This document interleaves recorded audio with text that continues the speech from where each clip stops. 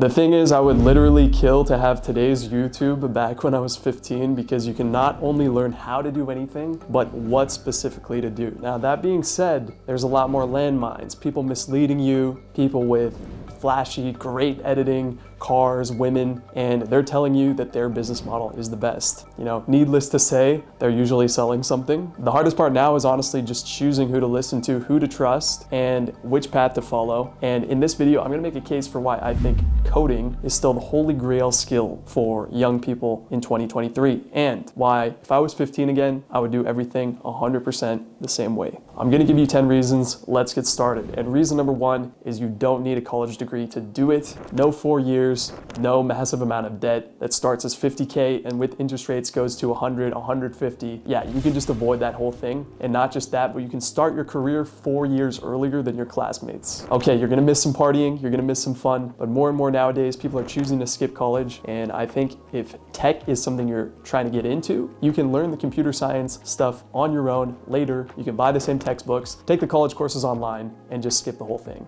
Reason number two is you can learn coding online, and if you're really dedicated, you can actually do it for free. Just here on YouTube, there's tons and tons of free tutorials, free resources. Now, of course, you can just learn for free on YouTube. What do you learn though? There's a ton of roadmaps out there. I personally think something more structured is better. Some people recommend Harvard CS50, it's very difficult. I'd put it more at intermediate. But if you had to ask me the best place to start, I would recommend Course Careers. It's completely free and the intro is taught by my friend Tim, one of the best guys on YouTube. I'll leave a link below. You can sign up for free. Check it out see if it's a good fit for you. Reason number three, it is also the fastest career to earning 100K per year. Now that's the milestone that's a lot of people's goal in their 20s, hitting that six figures. But what if you could do it literally right out of high school? And I'm not saying that's easy, you can only earn it in certain cities such as San Francisco, New York, but I do know people who have done this straight out of high school. It is possible. So theoretically, you can be earning 100K at 18 plus stock bonuses. And then by the time you're 20, 21, you can build that all the way up to even four or 500K, assuming you're at a top tech company. Now, I don't want to inflate the numbers. I'm not saying that's the average, but even the average results for a senior developer that's with three to five years of experience,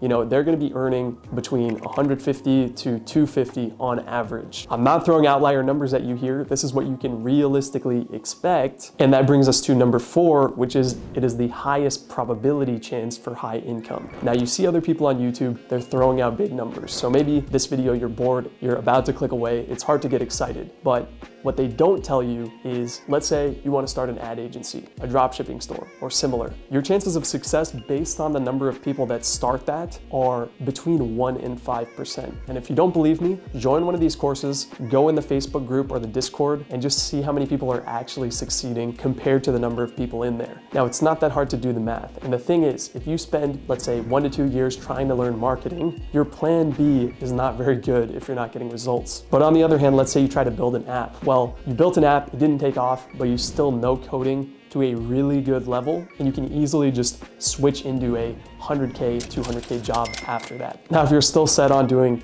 ad agency, drop shipping, trading, or whatever it is, I wish you good luck. So my point is for people who are realistic, people who like to have a good plan B, you know, this is a great option. But let's talk about actually getting rich too, because who doesn't want the Bugatti? I'm gonna make a case too that coding is the best for what we call outlier income too. That is becoming the richest person that you know. Specifically as an entrepreneur, making that one mil a year, selling that company for a hundred million. And let's just say there's a reason that your favorite guru is probably trying to get into software now too. The reason for this is software businesses in particular are extremely scalable. Think of selling a physical product like this monitor. You have to manufacture the monitor, you're paying for that. Then you have all these fixed costs such as the rent for the store, the salesperson, and that can really cut into how much you're making per unit you sell. Before I lose you, just wanna say there's really none of that with software. Once you have it built, getting an additional customer is generally gonna be almost pure pure profit, and that's what we call a high profit margin. This leads to, on one hand, the cash flow being really good. That's you being able to keep a lot of money that you make. And it's also why software companies sell for the best multiple, and that's how you make the 100 million when a company gets purchased. These software companies command the highest valuations. Number six, though, is something interesting because a lot of people these days are saying you can be a tech entrepreneur, you can get into software without knowing coding. So maybe you think you can just skip this step. Now there's a couple problems with that. So first things first, if you don't know how to code, you gotta pay someone to build it. But okay, fine. Let's say you do have 100, 200K laying around to build a product. How are you gonna know if your coders, if your development agency is doing a good job or just wasting your money? It's pretty much impossible. Now you might also say you can just partner with someone who knows coding. Well, in that case, what exactly are you gonna be bringing to the table? Let's just say there's a reason the number one startup accelerator, Y Combinator, ideally looks for two technical co-founders. Now, I won't get into the horror stories either of development agencies taking someone's money, writing terrible code or anything like that, but I think it's fair to say if you are building a business based around code, it's probably best to know what's going on. Number seven, kind of a funny one, coding is the best skill for nerds. To be fair, maybe you're an extreme extrovert, always talking to strangers, love being on the phone, but chances are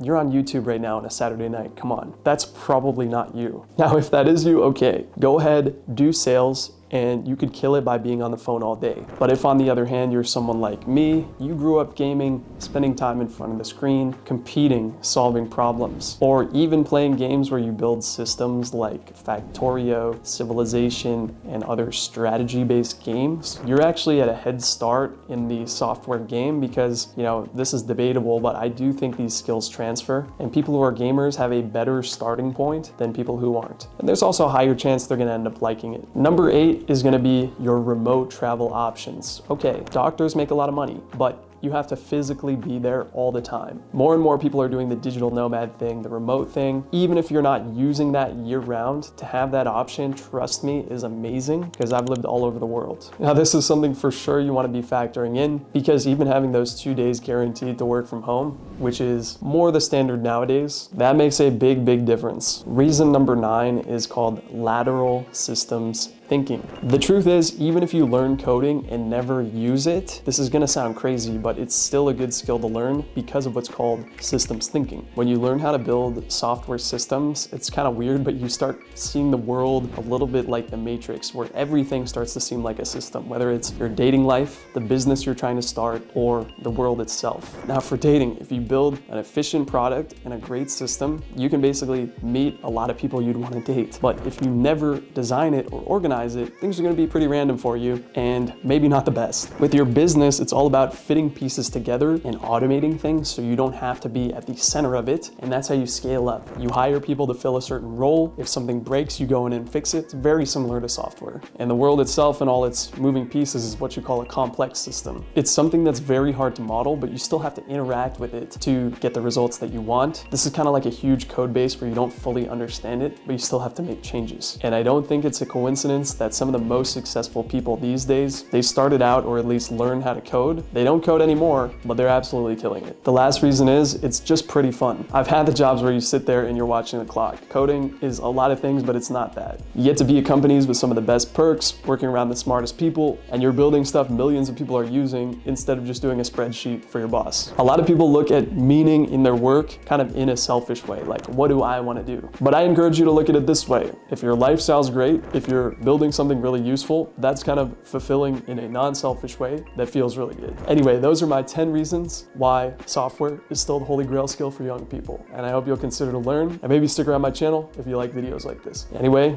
see you next time.